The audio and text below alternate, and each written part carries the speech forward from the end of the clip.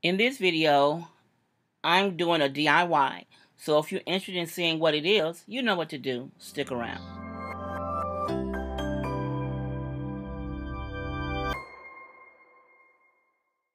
Hello everyone, this is Stephanie of Creatively Miss Me. If this is your first time visiting my channel, welcome. I'm so glad you're here. Here I share decorating and home organization tips. Now if this is your kind of content, I would love for you to subscribe and become part of the family. And to my creative family, I want to thank you for your continuing support.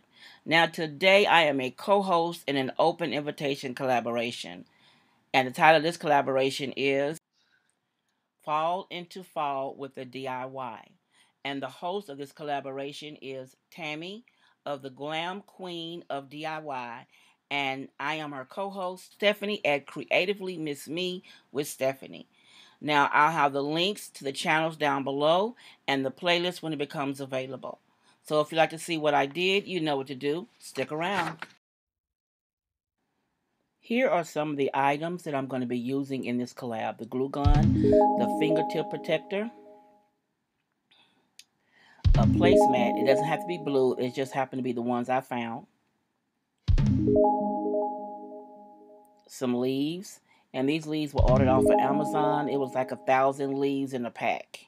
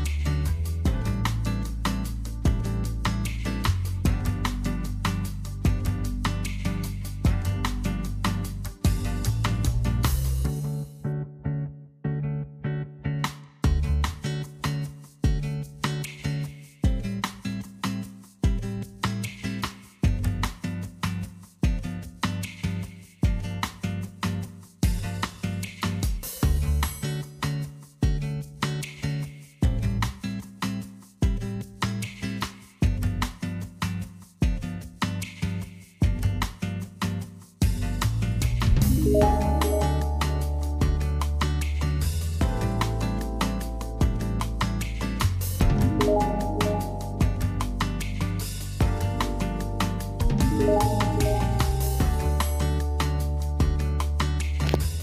here is all of them. I made six of those leaf placemats.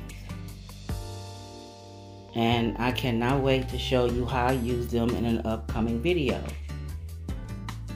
But I just wanted to try something. You know, I'm not the average DIYer. But when I see something I want to create, I go ahead and go for it. Now, this is not the first different placemats that I made from a dupe from Pier 1. I made the boxwood um, placemats that they had there before they went out, before they changed over rather. I'll try to link that I iCard up above to show you the boxwood uh, placemats that I created. But I promised Tammy that I would do something, so here is my DIY. I did six of these beautiful leaf placemats. Now, everything I've told you before, mostly came from Amazon. And I have seen some online similar to these that were made with the leaf placemats, but I wanted to do my own. So let me know down below what you think of my leaf placemats, and you be blessed. If you want to explore more, why don't you check out one of these videos I have listed here, and you be blessed.